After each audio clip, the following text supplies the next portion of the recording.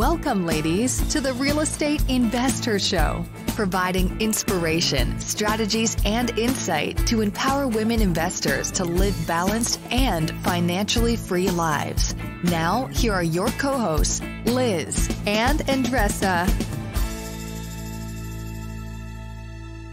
So, on today's show, we have Judy Hoberman, and she was absolutely amazing, Andressa, right?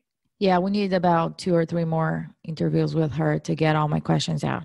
She's a she's a rock star. She is uh, she's an international speaker, trainer, coach. She's written a bunch of books all around uh, empowering women, especially in the sale, selling and leadership arenas. Uh, I, I really enjoyed our interview like wrote like three pages of notes to be honest with you ladies but what i what i think stood out most to me is the the power of asking for referrals. So that's a traditional term, like in selling, but how it relates to us investors, it's, it's endless. But really, really empowering ourselves to ask for what we need to mm-hmm. you know from people who are already working with so whether it's the homeowner homeowner whether it's the banker whether it's the you know investor whether it's our private lender whoever that is but i really think there's such power in asking right proactively for what we want yes Absolutely. She always talk, she also talks about that in sales, sales is a conversation, first of all, and it's not about you. And that's not necessarily a bad thing. That's actually a good thing that it's not about you. So instead of being interesting, be interested on what the other person has to say, getting other person's world and really making that connection. She's a powerhouse in sales and leadership, and I do believe you will benefit from listening to this episode. Enjoy. Welcome back, ladies. This is Liz. And this is Andressa. Welcome back to the Real Estate Invest Her show. We are so excited to have Judy Hoberman with us on this week's show. So, welcome, Judy. Thank you so much. I'm excited to be here and have a conversation with you ladies. Yeah, we're, we're really excited about jumping in to her story and love the name of her book. She'll go through that a little bit later and all that good stuff we're going to talk about. Um, but before we go there, just, you know, want to thank the ladies listening. Thank you for listening. We know how valuable and sacred time is these days, especially as, oh, yes. Especially as the fall is almost upon us and everyone has so many things pulling at their attention. So thank you, you know, the women listening, thank you for taking the time to connect with us and uh, please keep sending us feedback. If you have ideas for the show, ideas for the women that we interview, uh, ideas for our mini-sodes where we just do a 10 minute little little stint around something that's trying we're trying to be of value to you, let us know. Uh, therealestateinvesther.com is our website and just shoot us an email and we get those directly and we would love to hear from you. So I, I do want to mention that. We're all ears. Uh, so with that, we like to kind of get connected to all of you and hear what's going on. So Andressa, what what is going on? How are you doing? Doing well, very well. Today, I want to talk about something that I saw this week.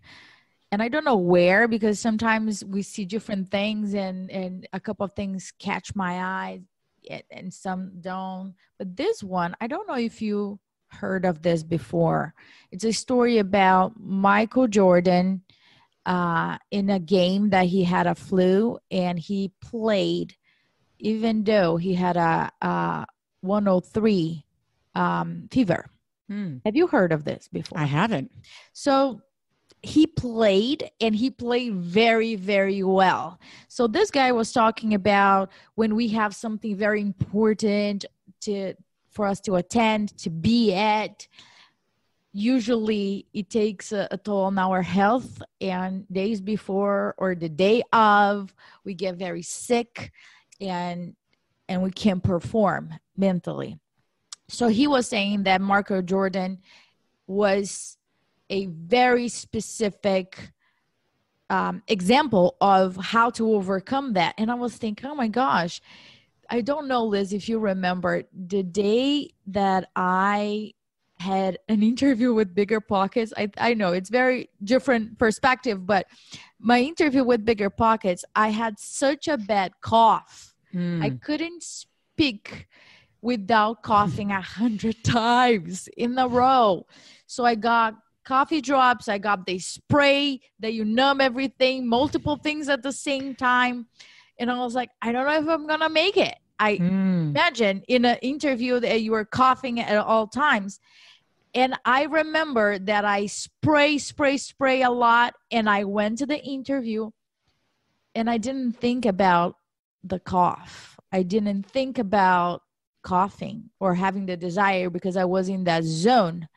And I believe that that's what happens with people. The mindset takes over. If it is that strong, it Mm. takes over and you just execute and it kind of overcome your physical. So everything that we do in life, I know that it's sometimes our health goes second and we're not 100% ready to go. And I'm not saying for you to just respect your body and not be, you know, conscious and kind with yourself. All I'm saying is that if you find your zone, you can get very easy through anything. A GC, a deal that went wrong, you know, a tenant that is giving you a hard time. The mindset will carry you through. Yeah, that's very powerful. And you hear so much with Michael Jordan around how many times he's failed, which we all know it's like a lot of times, whatever that number is. A lot of times. But you're right. It, that's an interesting perspective uh, to to also think about and move through it. And that's not Yeah. always easy. I like that. I Yeah. like that. Very cool. Very cool. Um, well, speaking of mindset, I mean, you know, I'm really excited to have you on, Judy, on our show here today. Uh, obviously, you know, this is this show is all about helping women create financial freedom and create a balanced life. And uh, obviously, it's geared towards real estate investing. But I, I want to ask the question to you about your path, how you got started, and what you're up to. And and, and Judy is a, a phenomenal resource when it comes to selling, which is such an important skill when it comes to really anything, but especially in real estate, investing and selling yourself, selling ideas. You're the expert, not me. So I'm going to have you introduce yourself more so. Answer the question: How did you? What propelled you to get involved really with this? You know, being a thought leader when it comes to selling. Not only when it comes to selling, but for women selling and being Mhm. effective in that strategy. So, Mhm. would love to hear that. So I actually started my official career. I mean, I was a Girl Scout and I was the number one cookie girl, just let me say. Oh, but, the, but there's a reason I say this. The reason I was successful is because I remembered what people bought the year before, and I came back and I said, "So last year you bought, you know, you bought uh, Thin Mints. Would you like those again, or would you like to see the new?" Coo- cookies you know whatever so i was the number one for many years in a row and i remember that only because if you listen to what your people tell you you're going to do well in sales because sales is nothing more than a conversation and a relationship. But when I started, um, my first real job, seriously, was in construction. And I was the only female in the state of Connecticut that was in commercial uh, roofing, of all things. Wow. And so when I was doing the roofing, I was climbing up a ladder and I was doing all the things that you would think women don't do. But the truth of the matter was, I was selling myself. And I don't mean that, you know, figuratively and literally. Sure. I'm just saying that I had to sell what the company was. I was the face of the company. But my real um, substantial career was in insurance. And you know as well as I do, insurance could be very boring and it's not tangible and you can't smell, feel, taste, or anything else. You have to actually provide a solution. And so for me, again, I was the only female, and I had to do things a little bit differently because I had these tremendously successful male mentors. The problem was you can only do so much as somebody that isn't like you can do, and then you have to take it on yourself. And so when the men would say to me, get in, get out, and get the check, I would be like, yeah, but you can't do it like that. You have to have a relationship. And so they would tell me, they would criticize me. I was such a girl. I asked too many questions. You know, everybody had to be my friend. My appointments were too long. I came back, all that kind of nonsense. And all I kept thinking was, it's a relationship. It's a relationship. So as I got more successful, they realized that selling like a girl was really a compliment not being you know something that was nasty. And they started watching me and they started seeing things. So as i progressed i ended up with three agencies of my own. And then i was recruited to um, to be in a big company to do their training in their uh, universities and everything like that. What happened there was the the culture was very toxic and so i left and when i left i was a female that was not 20 years old I was a female that wasn't married. I was a female that supported herself. I was a female that had these a huge salary, and I jumped. I didn't even think about it. I jumped. And so I started my own company selling in a skirt. And what that really was was about women in sales. Like, what is sales all about? It's nothing more than a conversation, but it's also about how to work with the men that actually are around you. And you think about real estate, while uh, residential real estate is primarily women, because you look at any of the companies, it's all women, but you go into commercial, it's mostly men. Yeah. When you go into leadership, it's mostly men. When you go into investing, it's mostly men, or that's who you see anyway. So, how do you work with men to make things happen? How do you communicate with them? And that's really how it all started. Wow, I have so many questions my head right now. right. So, so for the ladies out there, there is this perception, right? The um, a lot of folks have about sales that mm-hmm. I don't want to force anything. I don't want to when I'm buying something, I don't want to offend the seller. I don't want to make him feel bad. Therefore, I don't negotiate the, the, the, the sale or I don't have a conversation, eh, as you mentioned before. So, all those perceptions and fears and stories around it, how can the ladies that are listening that do not have sales experience but are starting investing in real estate right now or already doing it but they're not where they want to go to be at? Um, how they can overcome those stereotypes and fears. Well, first of all, everybody's in sales. I don't care what your title is. I don't care what your position is. I don't care anybody. You're selling yourself every single day. That I mean, that's first and foremost. So you have to get used to being who you are. And sometimes you, it, I do like a little exercise with people. I'll say, ask the person you trust the most to describe you in three words and then you describe yourself in three words and see if they match because sometimes if they don't match then the perception of somebody else is really becomes a reality and it's not what you want it to be mm. Okay, mm. so that's the first thing. The second thing is understand that you have a solution for someone, whether you are the investor or the investee, whether you are the realtor or you're the buyer, whatever it is, you have a solution. But you're not going to get there until you start asking questions. And you don't ask the question is, is this building for sale? How much is it? You're going to get all that. So when I was selling insurance, I would never say to somebody, Do you want insurance? or How much do you want to pay? I would say to them, Tell me why it's so important to have this policy in place. Well, guess what happens? They tell you everything, including their why. Once you get their why, there's the conversation. They and in that conversation, they tell me how much they want to spend and what they want to do and and who the benefit. They tell me everything, but I never ask the question my question is always an open-ended question that gets them as part of the conversation.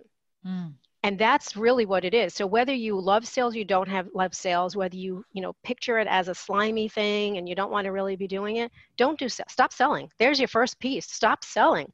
Have a conversation. Do your research. If you're buying a building and it's you know you, whatever you want to do with it find out what it was Find out who was in it before. Ask some questions about it. If you want to get an investor to come in and invest in your building, in your business, find out what they've done. What have they done in the community? What is something special? What award did they win? And talk about it. Have the conversation. Do your homework. So for me, sales is nothing more than a conversation. And and I mean, I've I've, and I don't, I don't want to say convinced, but I have actually shown people that the person that hates the sales the most, selling the most, is the best salesperson because they don't want to have that they don't right, right? so yeah. that's what they're doing they turn it around and they they have a conversation i say be interested in someone not interesting to someone mm.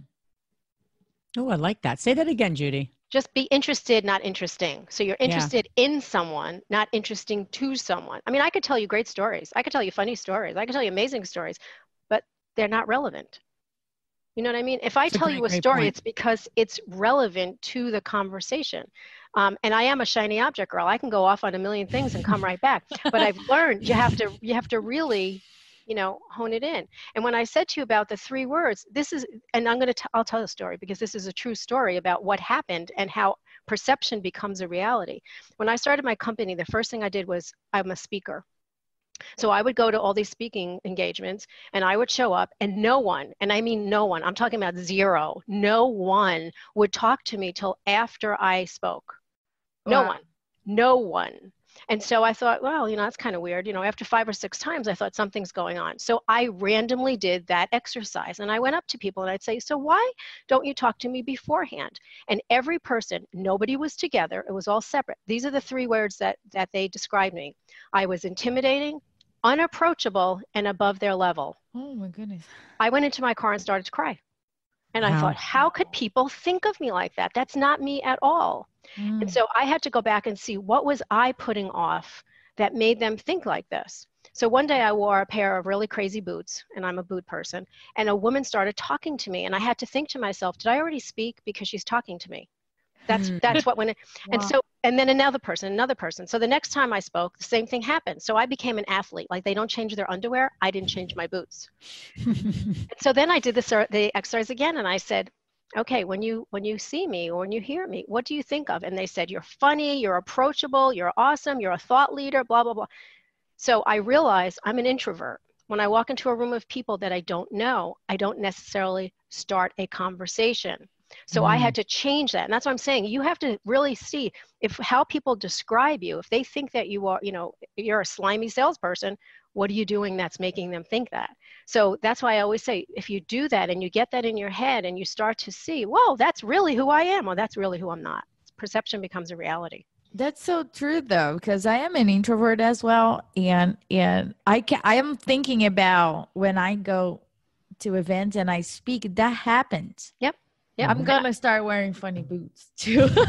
just be something that's you. I mean, my my, you know, I wear boots and I usually wear a leather jacket. That's my trademark now. Mm. It wasn't, Ah, okay? And that's what I'm saying. About something. Yeah. I mean, you could wear the, your glasses are really cool. So Yes. maybe maybe it's glasses. It, it doesn't Yeah. matter. There's people that wear a color. They wear red all the time, or they wear blue. All whatever it is, they they know how you're going to show up. So what's that perception? I think that's a, a great point. I, I love. I have so many questions too as a follow up. I I, I want to just mention that I love the idea of, tr- you know, we always we always know we always been asked, you know, ask people few quite few things to describe you, but I love the idea of actually matching it with how you see yourself. That's the missing piece. That's right. So, and I love that because you know it's one thing to get it, but then really, what? How would you describe yourself, or how do you want that? Where, how do you want to be perceived, and does that Right. match? If it doesn't, that's your first homework assignment. So I love that. I think that's a great, great, great point. Um, I want to circle back to Judy when you mentioned about. Uh, you know, you know, the woman listening, you know, they're they're either scaling their their portfolio, they're looking to buy more, they're they're or they're looking to jump in, right? It's usually one of the two, and we have women all, all across the board who who really are part of our invest her community and, and you know trying to grow our wealth but also do it in a sane you know peaceful way i'm curious what do you find to be the biggest mistakes that women make when it comes to speaking and influencing men because you got the contractors obviously that's a huge uh, thing to overcome or area to overcome for a lot of women. Uh, you know and also commercial brokers if they're looking to get into larger buildings uh, you know or like our friend pam you know she's selling land um, apartment buildings uh, office buildings. This is male oriented. Residential side single family homes. Okay a little more women women uh, oriented or women focused but so what would you say are the biggest mistakes that women make So one of the biggest mistakes, and this is true with any industry, any industry with women, women want to help everyone. They don't want to leave anybody out. Well, oh no really Yeah. So the first thing, the first thing I always tell people is, who's your market? Yeah Okay, so even it doesn't matter if you're going to sell or buy or whatever it is in, in, in investing in, in commercial real estate. Who's your market? Who are the people that you speak the same language with? Who are the people you're comfortable with? They'll tr- they'll inter, uh, introduce you to other people, but the truth of the matter is you have to start somewhere. So who are your people? That's know your people because that's what's going to help you start or become even better. The second thing is you have to be able to stand out how many commercial realtors are there? How many investors are there? How do you stand out? So, how do you stand out? You become the expert in your field. So, if I said to you that my market, now, now I'll go into ins- insurance again. My market were contractors. That's what my market was because when we started out, we didn't have computers. They would give you the yellow pages and rip it apart and hand you, here's yours, here's yours. And my very first time they gave it to me were contractors. So mm. I was in charge of working with contractors. And so I would call every single one and listen to every single story they would tell me, no, I don't need it. No, I don't want it. No, no, no, no, no. And then somebody would say yes. And so I would go and I would see them. And I would become, and I did become the expert in construction contractors that's who that's where i became and so when they would say something to me i mean i always had pads with me and i would write things down because i wanted to hear in their own words what they were looking for mm-hmm. so when i would come back to them and say okay so when you told me x y and z here it is and so whatever i said i would do i did so there's the other piece of it. When you promise something, you better be delivering. You can't say, I'm going to have it to you by tonight, and then it doesn't show up because that's a pretest for people. So mm-hmm. that's the second part is know your you have to know your people and you have to make sure that you are standing out in some way. So again, contractors, I knew them. How I stood out was I prom- whatever I promised, I delivered. Okay. And then the third thing is you have to be willing to ask for referrals because that's the mistake people make. Oh, I don't want to ask. And what if they say no? Who cares? What's the worst that's going to happen? They're going to say, I don't know anybody. But my, bu- my business now remember, yellow pages, that's not really considered a lead. Those are yellow pages, okay? But after 30 days of working with contractors, I met many centers of influence. I never, ever, after 30 days, had to have yellow pages again. My business was 100% referrals. Wow. And the way that they introduced me was she does what she says. She shows up when she promises. She makes the call when she does. She services our, you know, our people. Whatever it was, whatever they asked for. I mean, you can't be available 24/7. So that's the other mistake people make is I'm available 24/7. No, you're not. You're not. So so you know, you can't help everybody. You have to be able to stand out. You're not available. You have to have some kind of boundaries. So that that's what I would say. Yeah, and, and I think the asking for referrals is so applicable, mm-hmm. right? So if you have someone you were, you know, you're meeting with a homeowner and you know you're buying their home and you've, you know, you've figured out whether you're buying it and holding it or you're flipping it, whatever exit strategy doesn't really matter.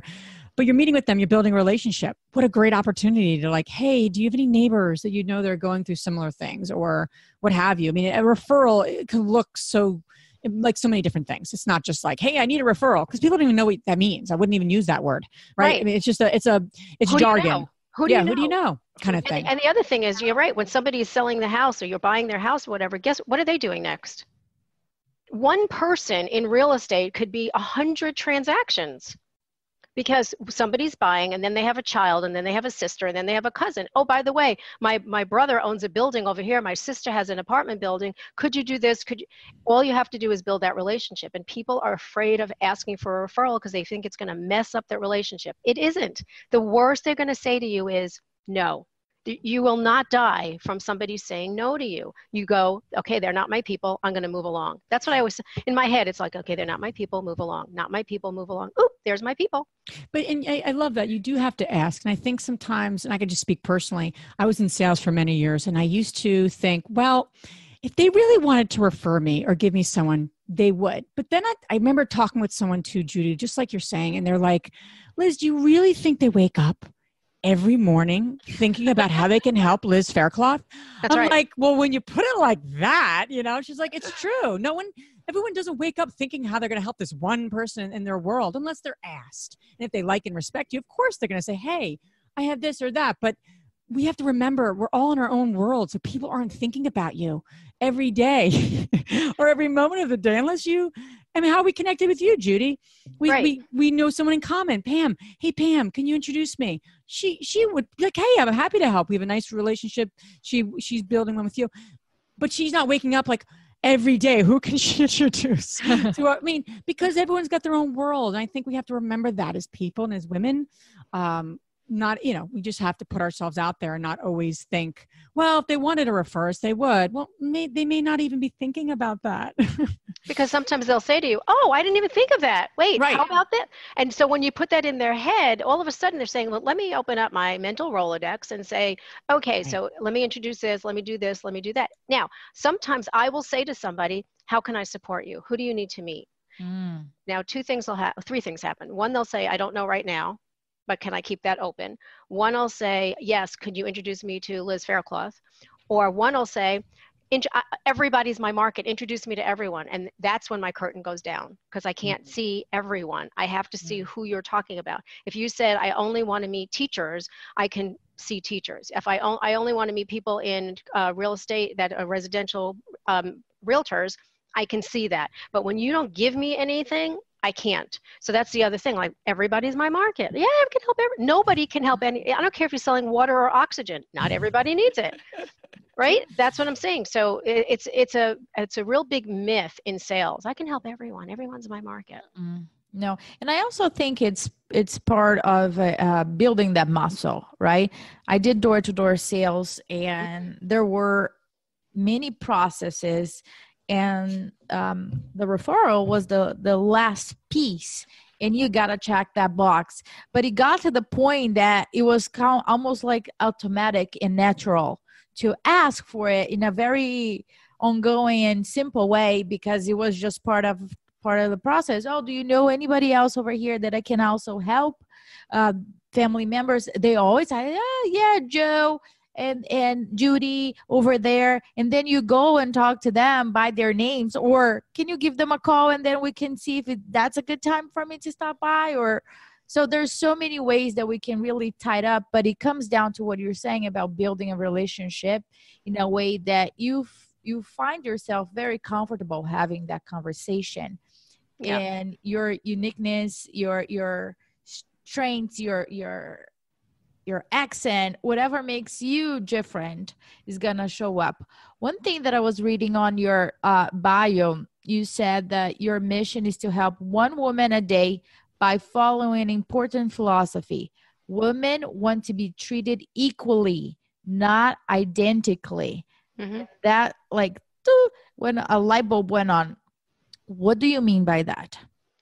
So, first, the first half of it is helping one woman a day because that has always been my mission. And when I say that, there are people that either will say, well, what about 10,000 women a day? What about a million women a day? If you help one woman a day exponentially, there's millions. Okay. I want to help one woman. And when I would say that, the second part would be there'd always be a woman that would raise her hand and say, Can I be your woman?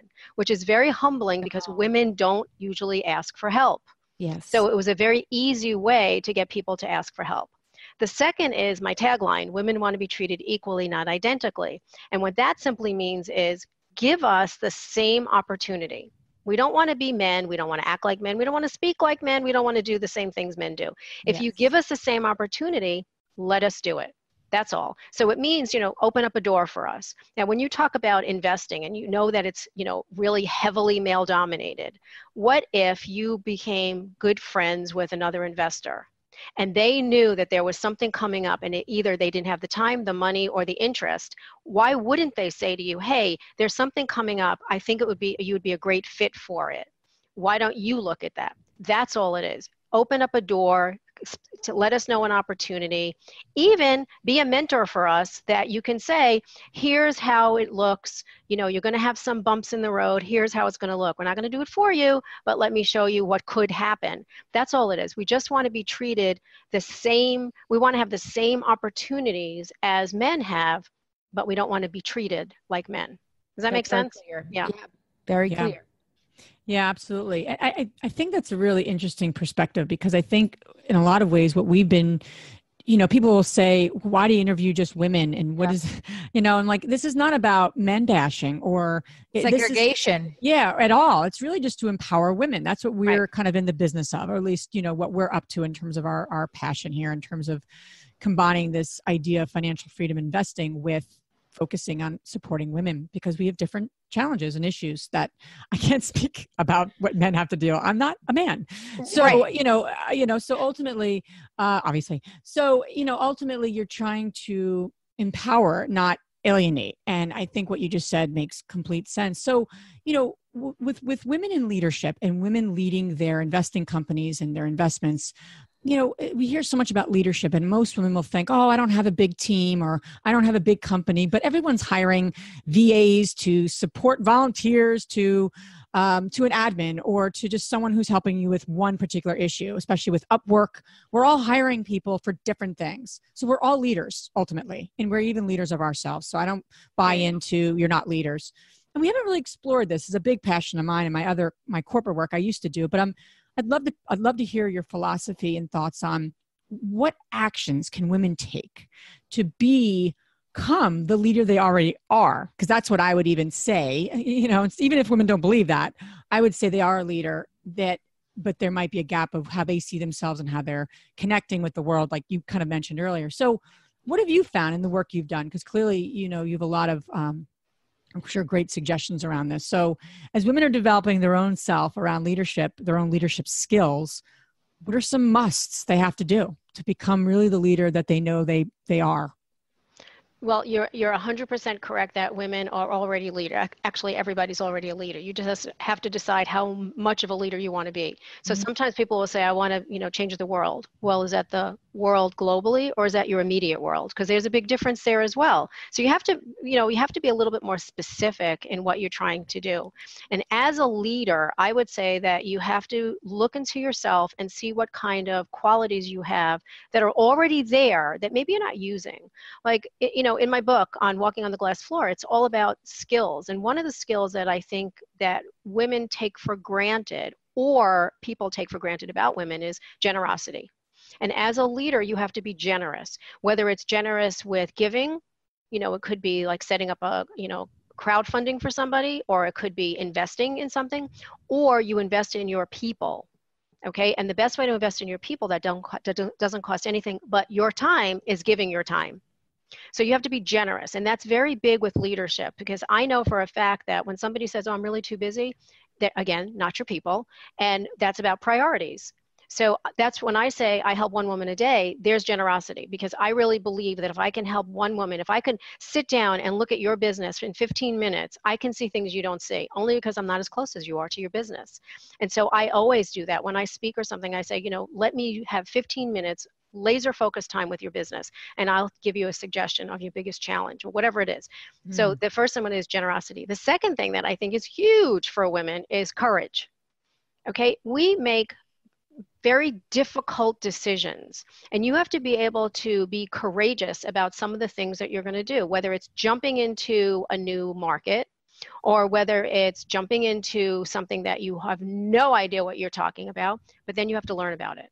So you can't just be courageous and say, okay, I'm going to do this, and I did it, and I jumped in, and now here I am. No, you have to also be able to talk, your, you know, walk your walk and talk your talk. So again, when I say standing out, you have to become the expert. So there's all these different ways of showing that you're a leader. Now, one of the easiest things are, that people can do and probably should do is write. You can write a blog post. A blog post is 500 words. 500 words is like, you know, you can do it in a minute because there's, you can say a lot and 500 words will pour out. So um, I, I do a lot of, um, I'm a contributing author um, to a lot of different magazines. They have nothing to do with what I do, nothing, but they want my perspective about women in their industries. Mm. Okay, so my name is out there a lot on all different things. I write for CU Insight and, and uh, Annuities Outlook. I, mm, mm, that, that's not necessarily who I am, but if I give a female perspective according to their industry, my name is out there. I speak a lot. So a lot of the things that you can do to be a thought leader is to at least start writing because a lot, a lot of people don't want to be speaking. But if you can write, you know, even even write your own blog post and put it out there on social media on a consistent basis because people will start seeing your name and they'll start saying, "Ooh, I want to know more about her. I want to know what she's doing." Mm-hmm. And it doesn't mean that you have to come up with this amazing information all the time. You there's so many websites you can go to that you can pull content like Alltop, A L L T O you go there, it's like a, a clearinghouse for all things that come up. Real estate's on there, um, all different pieces. And you, you make a comment about that particular article. We have a site called thereportforwomen.com. And I don't know if you know what the Drudge Report is, but a Drudge Report is also like a clearinghouse for like a million different things. The Report for Women is only about industries that women are involved in. Real estate's mm. a big one. Again, mm. you go in, you click on the I mean, it's free to subscribe. You go in, you click on the article, comment on the article. That's what it, so you can do, you can make two sentences and say, I just read this article by Judy Hoberman and blah, blah, blah, blah, blah. And here's what she said. Here's what I think.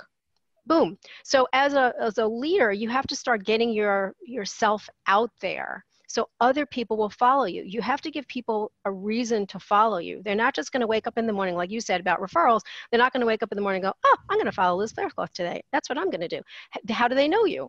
So that's what it, and it's consistency. It's got to be consistency because leadership is is is a lot more than a title. Just because Absolutely. you have a title, I mean, it means nothing.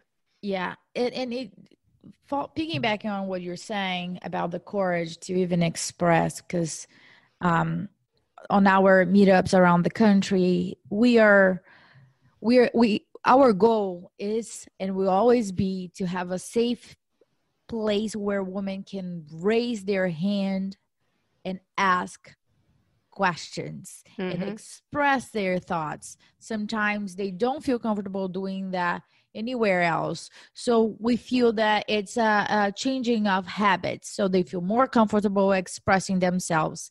It, in regards to the blog or a post, there is a, a lack of confidence instead of saying, oh, I did X, Y, and Z deals. What we hear is, I only did five deals and I'm not an expert yet into it. So when I do, I don't know, X amount of deals or when I have X amount of years of experience, then I will become an expert on it. And uh, and I I don't think that that's what you're No, no. And in fact, you know, when I have, if I do, when I get, those are all the things that we tell ourselves. That's the internal chatter that we have and yes. you you have to rewind those tapes because it's ridiculous. Nobody cares what you have or don't have. And I'm not mm-hmm. saying to say I just had I had five deals. I'm not saying that at all. You can talk about something like for instance, let's say you were looking at property in the Bahamas and we all see what happened in the Bahamas yesterday and, and probably today as well.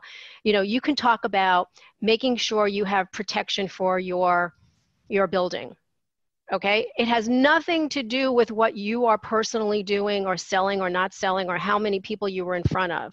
You talk about a, a conversation a topic that people in your industry would be interested in. Again remember interested not interesting. Mm-hmm. if you were talking about an apartment building and you are in this new this area that everything is coming up and everything is being redone and it's amazing. Talk about how, what it's like to be um, go through regent- regentification like what that means to people. So you do topics like that. Like we would never have done a topic like is life insurance what you need? We would we would say you know or or when we were recruiting women you know you uh-huh. couldn't just say i want women to do life insurance. It wasn't that. We would say can a woman have it all? Well guess what all every woman read it. Every woman would, would want to be part of it because it had nothing to do with saying you should be in this industry or you should buy life insurance. It wasn't that at all. We did a topic. And mm-hmm. that's what i'm saying you know and a lot of times yeah. like in in insurance we had compliance. So you could not talk about a product. In real estate you don't have the compliance hanging over your head. You have other things but it's not the compliance issue. So you could talk about mortgage rates or you could talk about whatever but even that is not as interesting as where would you be in five years if you had bought Apple stocks today? You know, it, it's that kind of mindset. Like change yeah. the change the format of it, and it's not about you. Remember that in sales, it's not about you. Take your take the spotlight off you. It's not about you. People don't care about you yet because they don't know who you are. So it's about what it is that you can do for them. So when you give them great content, then they're able to say, "Oh my goodness, I I can't believe this article I just read. It's the best thing ever." I love that, awesome. Judy. And I think the biggest, I, I think the biggest thing that I have come to realize, and speaking with a lot of women and a lot of men for that matter, is that they get themselves out there on social media and then they come back and go, you know what? I'm just not getting the leads to buy the new property or for new investors or fill in the blank. And really what's happening is they have not identified their market. Like who they really who do they want to respond to that post? So with right. social media they're like i should just be you know in, in drones just getting everyone like you got to really get clear on that. And i love what you said because i think that's the biggest that's the hard work. It's really easy sometimes when people have been doing this. Like i can tell you a little bit about x y and z but okay great. But are you adding value to the people you want to be attracting? That's the biggest question. And where are those people you know and, and, those women those men and then how do you get in front of them and give them good content like you're saying of value? Yeah. um I love that. And yeah. judy so in my head the question that might be going through other women's head too is that how can I identify it? I am, I have different shiny objects around me and I'm getting distracted. And I have a lot of things that I like and that I enjoy and that I see potential. So, how can I narrow down and focus and really serve the market? How can I determine the market? So, first of all, you have to know the difference between a priority and a distraction. Okay, because there's lots of distractions out there. Oh, that looks good. Oop, that looks good, and that looks good. Okay, so now you say, all right, but where do I really want to be? Picture this as a sandbox who is in your sandbox who do you want to be playing with now you can say well i want everybody to come into my sandbox no you don't because there are people that you don't want to do business with and i can guarantee anybody that's listening can already tell you who they don't want to do business with. Yes. this person is this this person is slimy this person said nasty things this person doesn't like whatever they're not your people. And you have to keep sifting through that sandbox and saying okay who is my people? Who are my people? So the first thing you have to do is decide who is going to be with you long term. Mm. so when you're investing you have to decide am i doing buildings? Am i doing you know uh, land? What what do i really want to do? And then say where are my people because everybody goes somewhere. You have to find the people. So do they network somewhere? Do they congregate? Are there events that are specifically for those people? And the second half of it is who are my strategic partners? So if I was in real estate and I was residential, my strategic partners would be mortgage, title, anybody that's in banking, and I would also have commercial because commercial does get leads for residential and vice versa. I would also do investors. So now back it up. I'm an investor. So who are my people? Who are my strategic partner? A strategic partner is somebody who's already in your space but they complement you, not compete with you. Mm. Okay, so when I did insurance, we did um, heavily underwritten health insurance. Oh, all the other insurances too, but our insurance was heavily underwritten, which means the major portion of the population could not get our regular plan. However, in my back pocket, I had people that had less regulated. I had people that did, you know, highly um, the people that have, were high risk. I had all of those people. I also had property casualty because we didn't have that.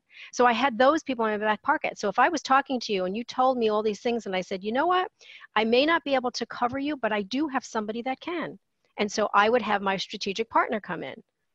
That's what I'm saying. So you have to know, yeah, you don't want now, and that doesn't mean like if I chose that I only want to do business with, you know, people that are selling land, it doesn't mean that if somebody came up and said, Hey, I've got a building that I want to sell. Do you want to be my realtor, it doesn't mean you're going to say no. It just means you don't look for them first. You're looking for your market first. It doesn't mean eliminate everybody, but concentrate sure. so you become the expert in that space. So when they know, when they're going to, you know, sell land or buy land, whatever, they're calling you first. You've got you know stuff that's written you've spoken at different places people know you you've got great referrals te- great testimonials which is another thing. Always ask a person to give you a testimonial written or video throw it on your website.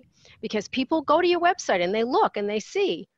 You know i always and i have that i have on my website but i also have like a file on my computer. So when things are really like so bad that you know i can't even get arrested that's how bad it is i have a file i i have a file and i and i either listen watch or read testimonials because then i come back right back to okay that's why i'm doing it okay mm-hmm. this is a good day because no matter who you are no matter what level you're at there's that day or mm-hmm. that week yeah and you're like oh my god why am i doing this yep. so that's that's the other thing i do yeah Love that. Um, Judy, we could probably keep asking you a million questions here. I love what you're saying and I just love what you're putting out there because I think it's so it's so important and it really it moves through so nicely. Women, men. It's just like gets to the root cause of helping regardless who you are, what you are, get to selling more. And that's what really you know i know you you're really passionate about. So where can the ladies listening and you know learn more about what you're up to uh, find the book the, the resources you have the books? I know you have a radio show that's growing tremendously so how can they reach out? So you can go to my website which is sellinginaskirt.com I also have a second one, which is walkingontheglassfloor.com. So you can go to either or. One is more leadership, one is more sales. Um, you can email me at judy at sellinginaskirt.com. I answer my own emails. Nobody does that for me. Um, you, I mean, you can follow me anywhere. I'm on social media. If I'm not on Selling in a Skirt, I'm on Judy Hoberman. I'm, I'm everywhere. And I also am very consistent. So every morning before 7 a.m. Central, I will have a post up on all social media. And when I don't, people actually text me and ask me if I'm okay. oh my god seriously but so if i'm on a different time zone like when i'm in california mm-hmm. and it's two mm-hmm. hours earlier i may not get it up by seven central but it's up by seven and so people, you know, I'll say, well, you know, I'm in California. And they're like, oh, okay. Um, so people, uh, you know, but I am very consistent. And somebody asked me if I change my analytics. Now, I'm not a tech person. So I said, well, if you tell me how to do it, I will do it because I probably am doing something wrong. They're going, no, no, no. I see your stuff first thing every single morning. I thought maybe you changed something. Well, it's because I'm very consistent. So mm. that's what mm. I'm saying. So do things that make you consistent, that makes you stand out you know i mean that's really what that's you know this whole thing is about standing out and having relationships and and taking the spotlight off you and and really concentrating on your people yeah. and know your know your people 100% when you say it's not about you that is a good thing that it's not about me oh, if we can take that that pressure out that's awesome I yeah. like that. So all of this information you guys can find on our show notes. Now we're going to transition to our fabulous three questions. And the first one, Judy, is what's the most transformational book you have ever read? Oh, I've read a lot of transformational books, but I will tell you recently, the book that has really changed things for me is Powerful Questions. Mm. Powerful, mm. yeah, it's by Andrew Sobel, S O B E L. And, and because I've been labeled the question queen, I thought it would be a good book for me to read. And there's one question, actually, there's a few questions, but one question in there, and this is good for everybody. I've used it a few times, and the conversation changes drastically. The question is, what do you still want to accomplish? And that's at the end of your conversation. You may not have sold anything. You may not have gotten you know into their company unit whatever it is. And i always say what's the, what do you still want to accomplish? And the ceos of companies take a deep breath. Mm. they hmm. have all said to me no one's ever asked me that question before. And 10 or 15 minutes later they're still talking about things they want to accomplish. So to me very transformational. Very. Awesome. I'll add that to my list for sure. Uh, the second question is What's the most powerful routine you do to create a financially free and balanced life? Uh, so, the routine that I do is I have my three R's it's review, readjust, release. And I do this every quarter. And so the first thing that I do is I review everything that I did for that quarter. Mm-hmm. What worked, what didn't work. Then I will, you know, I will re- review it, I'll readjust it. So if it's something that I still want to continue, then I readjust. Maybe it's the wrong audience, maybe it's the wrong message, whatever it is. The hardest one is the release part because I have to let go of things. And the first time I had to release something, I really thought that was it. I can't, I mean, what am I going to do? How, mm, no. Review, readjust, release. And I do it every single quarter. And you'll find that you become much more um, in tune with what you're supposed to be doing and you're doing revenue generating activities as opposed to i'm just doing a lot of activities. Mm. so the release part is something that didn't work or it's no longer your goal part of your goal? Well it, it's usually something that i've i've already readjusted a number of times. It's just not either not that it's not my goal anymore but it's not what somebody needs. Mm. i thought there was a problem there but i was inventing a problem Mm. Right. So again, comes down to it's not about you. Is that about yeah, uh, yeah. The last question is: Which woman, famous or not, has inspired you the most? So my book, Walking on the Glass Floor, is dedicated to my grandmother. And my grandmother, I call her the fashionista because mm-hmm. she was very fashionable, head to toe, and she also was a feminist and she was born in the 1890s. She's no longer alive. Um, but she always told me that I could do anything I wanted to do. And she was there to support me when, um, in, when my, my mom did, but she was not as strong as my grandmother, and my father totally did not. Mm. You know, my, my father told me that all I was was pretty and I'd never amount to anything else. So when you have that in your home every day, but then you have this very strong woman saying, Oh, yeah, you could do anything you want. What do you need to do? Let's do it. So, yeah. Wow. Love it. Um, Judy, thank you so much for being on our show. Thank you for thank you for the stand you're taking too, and, and the work you're up to. It's very you're very passionate about it. You're very knowledgeable about it, and I just love because love it because you're you're empowering women across the board. So that's just super super cool and very aligned with what we're up to too. So thank you. And thank you um, for having me. Thank you, Judy. It was a pleasure. Thank you. It was awesome, really awesome. And whatever I could do to support you and your um, listeners, please let me know. That's what I do. We appreciate you. Awesome. Thank you so much. You're welcome. If you enjoyed this podcast and want to receive updates on our next interviews, go to our website, therealestateinvesther.com. There, you can subscribe to our show, become part of our investor community, and get updates on upcoming episodes. If you like our show, please share with other women who would benefit. And don't forget to leave us a rating on iTunes. We'd really appreciate it. And as always, we encourage you to take one action as a result of today's show and put it into motion so you can live both a financially free and balanced life. Thanks for spending time with us. Ciao.